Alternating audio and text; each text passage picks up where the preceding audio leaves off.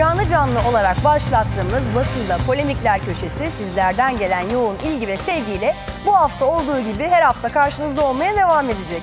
Bakalım köşe yazarları arasında yaşanan medya savaşında kim kimi neyle suçluyor?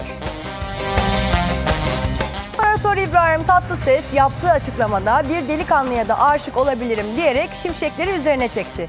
Ünlüler dünyası ise bu söze temkinli yaklaştı. Avşar'a Denyo benzetmesinde bulunan Reha Muhtar'a yanıt yine ünlü sanatçıdan geldi. Ancak bu kez Hülya Avşar'ın yanıtı bizi çok şaşırttı. İzliyoruz. inanır niçin gözyaşlarına boğuldu? Duygusal açıklamalarda bulunan ünlü aktör İbrahim Tatlıses gibi veliahtını açıklamayı da ihmal etmedi. Bakalım Kadir İnanır niçin bu açıklamalarda bulunmuş izliyoruz. Ünlü sanatçı Seda Sayan röportajımız esnasında neden gülme krizine girdi? İşte Seda Sayan'ın sinirlerine hakim olamayıp gülmeye başladığı an. Bakalım Seda Sayan kime?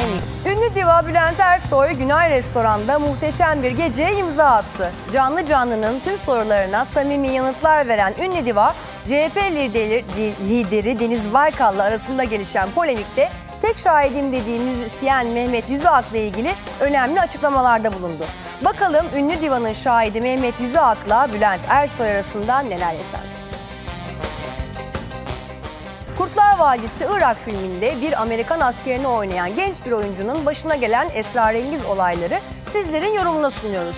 İşte tüyler ürperten açıklamalar, işte genç bir oyuncunun yaşadığı psikolojik travma. Canlı canlıdan hepinize iyi geceler. Magazin dünyasının en renkli, en çarpıcı haberleriyle yine karşınızdayım. Bakalım bu hafta ünlüler dünyasında neler yaşanmış. İsterseniz bu gecenin önemli konularına şöyle bir göz atalım.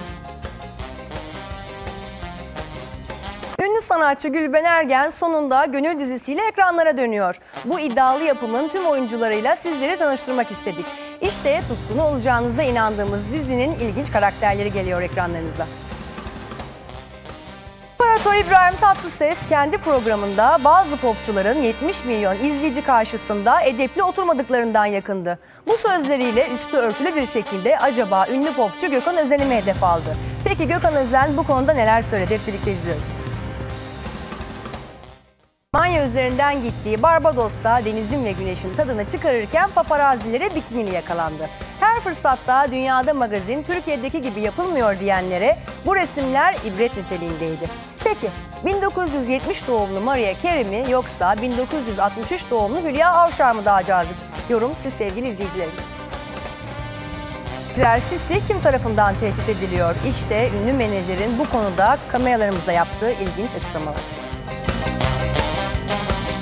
meşgul eden Gülben Ergen ve Mustafa Erdoğan çifti ayrılıyor iddiaları ortalığı kasıp kavururken ünlü çift sadece ama sadece canlı canlı kameralarına konuşmayı tercih etti. Şimdi ünlü çiftin yaptığı ilginç açıklama. Hazırladığı ilk albümüyle basının karşısına çıkan Seray Sever bakalım eleştirmenlerden olumlu bir not alabilecek mi izliyoruz.